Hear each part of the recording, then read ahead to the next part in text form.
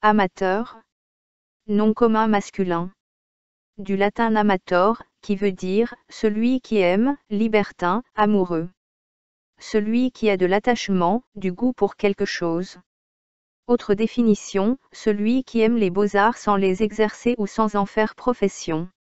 Autre définition, celui qui, ayant à faire une chose, s'en occupe négligemment.